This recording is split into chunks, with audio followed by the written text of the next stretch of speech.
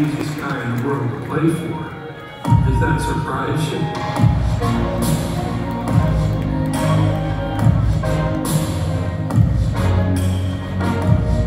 Nowhere was basketball more appreciated than in the state of Indiana. You can see it in high school coaches. You can see it in high school gymnasiums.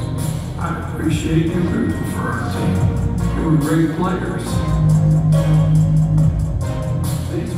These were kids. The Hoosiers of Indiana, Bobby Knight has brought them maniacally, their fans, to follow them. It was the metaphor for life. Is that you keep going. He is the leader of that thought process. And without him, none of us would be where we are today. Coach Knight is Indiana basketball. And that won't ever change. The fact that I appreciated the most was that we won.